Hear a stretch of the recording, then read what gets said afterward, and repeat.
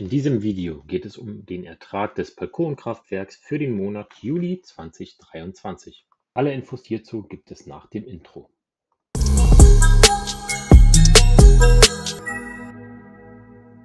Liebe Freunde der Solarenergie, wir sind im Monat Juli.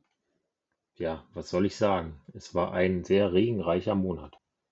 Und hier sind die aktuellen Zahlen.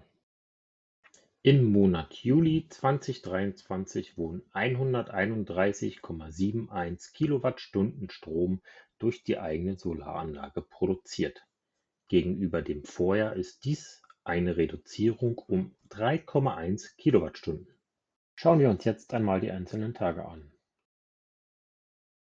Den geringsten Ertrag gab es am 26.07.2023 mit 1,95 Kilowattstunden.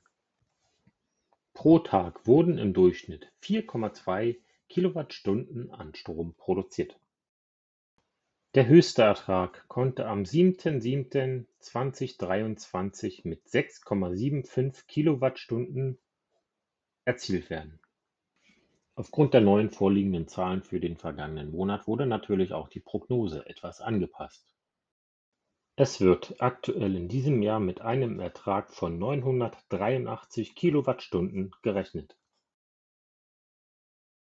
Im vergangenen Monat wurde die Solaranlage um einen zusätzlichen Speicher erweitert. Ich hatte hierzu zwei Systeme zur Auswahl, habe die ausgiebig getestet und mich für eins entschieden.